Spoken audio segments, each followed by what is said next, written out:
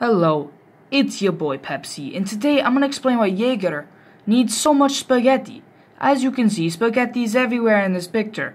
It's out of his pockets, you know, it's all over his hands and his knees, all over the floor.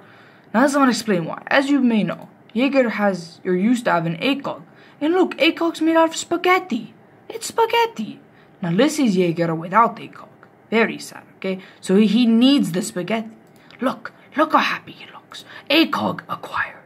He seems so happy about his, having his ACOG, okay?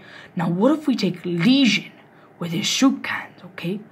Maverick with his blowtorch, okay? Jaeger with his spaghetti, and Rook with his plates. Spaghetti soup. Now, this does seem very yummy, but I think we need a drink. So, um, uh, um, Oh my